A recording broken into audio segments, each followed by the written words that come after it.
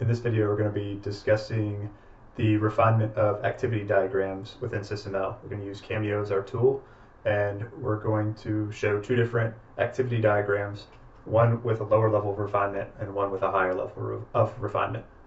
So we get started. Before we start with the activity diagrams, we have to understand the breakdown of our system. Our example here is a pizza store, and it's broken down into several different subsystems, the staging area, the pizza oven, the boxing area, the warming rack, and the checkout area. So moving forward, we have our first pass at the activity diagram.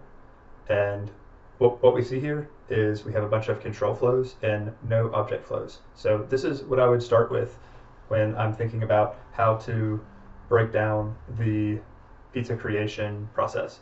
So I'll just go ahead and run this in simulation so that uh, we can see how it works.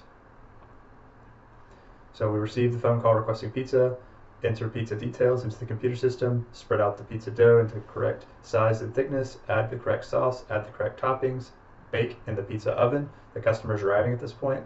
We put the pizza in the box, slice the pizza, put the pizza in the warming rack. Once both of these have happened, both tokens flow to this join node. The customer pays for the pizza, the customer is given the pizza, and the customer can walk out with his pizza and the process is complete. So what's wrong with this? What do we what do we want to do going forward? We don't have item flows and so we need to refine it to have item flows. Um, additionally, there's some little issues with this customer arrives uh, situation where it arrives immediately once we start this um, activity. You can see that from the beginning, it goes to the customer arrives block, which is not necessarily true. I mean, the activity, the customer doesn't necessarily arrive right after he's received, right after he's called in requesting the pizza. So we just need to show that in greater detail.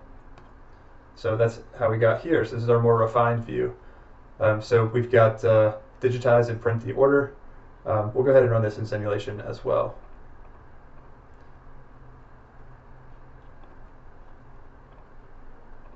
So order comes in, digitizing the order, create the pizza from the ingredients, cook the pizza, box and slice the pizza, holding for the customer.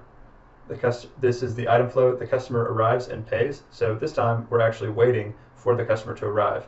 So we're waiting for that. He arrives and pays, and now he can receive the pizza and leave.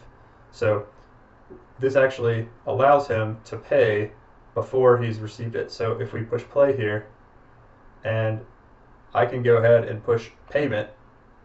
So it's basically th this payment signal is the same as uh, he's already paid, and now it automatically uh, goes together once the pizza has been put on the warming rack.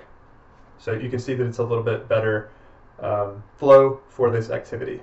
So now we might ask, hey, now that we've got this from a pizza standpoint or a pizza um, store standpoint, maybe we want to see the customer view standpoint. So we may have to go up a level with our BDD. So we have our pizza store, which is what we saw before, but now we want to see our customer and how a customer relates to the pizza store. So now we've got this pizza store context that we made, and you'll see how uh, if we make one more activity diagram, how everything kind of comes together. So that's what we're seeing here. So I'm going to stop my activity. This is the same activity that we saw back here, and essentially we're adding a wrapper to it, which is the customer. So I'm going to go ahead and push play on this. I'll slow it down a little bit. So the customer, this is the customer swim lane, this is the pizza store swim lane. So he's driving to the pizza place while he calls the pizza and gives the order. And now it's going into this block right here, which is this entire activity. This activity is being performed. Let's, he is ready at the pizza place at this point, and he's sending the signal to pay for the pizza. So, because it didn't take him very long to drive there in this specific um, simulation, he beat he beat the uh, pizza being made. So um, that's why the the pays for pizza was sent before the warming rack. The pizza made it to the warming rack. Um, if you wanted to make this this drive time way longer, you would see that it still works out, the logic still works out that it would sit here and wait on the warming rack for the pay for pizza uh, signal to occur and then be received, customer arrives and pays before it's handed to the customer. So I hope this example helped. Thank you.